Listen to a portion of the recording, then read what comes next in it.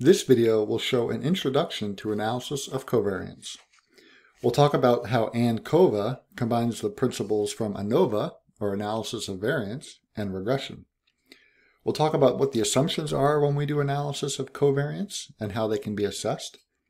And we'll talk about how to apply the analysis of covariance techniques into our discipline in agriculture and natural resources. So let's take a look back. We've learned a lot about analysis of variance and about regression. So you remember that the analysis of variance tests whether several populations have the same means, and by doing this it compares how far apart the sample means are with how much variation there is within a sample.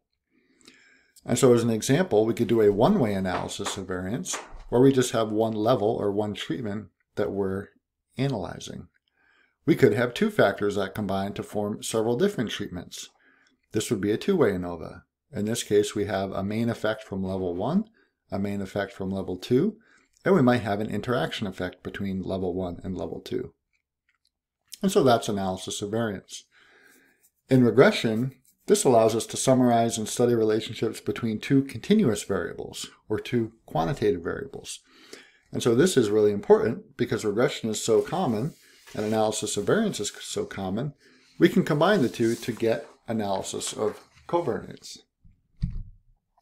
So analysis of covariance takes kind of what ANOVA has and also what regression has. We can think of analysis of covariance as a general linear model which blends together what we know about ANOVA and what we know about regression. And so we can say here that analysis of covariance arises when we, when we include a continuous covariate inside an analysis of variance. And so the analysis of covariance evaluates whether or not the means of a dependent variable are equal across different levels of a categorical independent variable. And this categorical or independent variable is often an experimental treatment. Now, what is interesting about the analysis of covariance is that it statistically controls for the effects of other continuous variables that are not of primary interest. And so we call these covariates, these other variables that are continuous but may not be the, of primary interest in our experiment. And so we can then uh, kind of think about the covariate and treat that like we might treat it in a regression equation.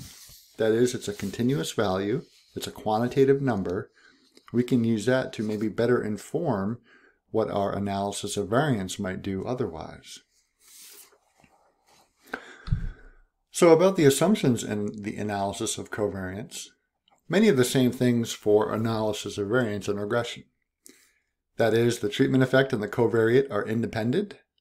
That is to say, if we have one experimental treatment, that's independent from some covariate that we might also be measuring. We assume that the variance is the same across all values of x. We assume that there's a linear, a linear relationship between our value x and our value y that we're interested in. And we assume that the residuals or the errors from our model are going to be normally distributed.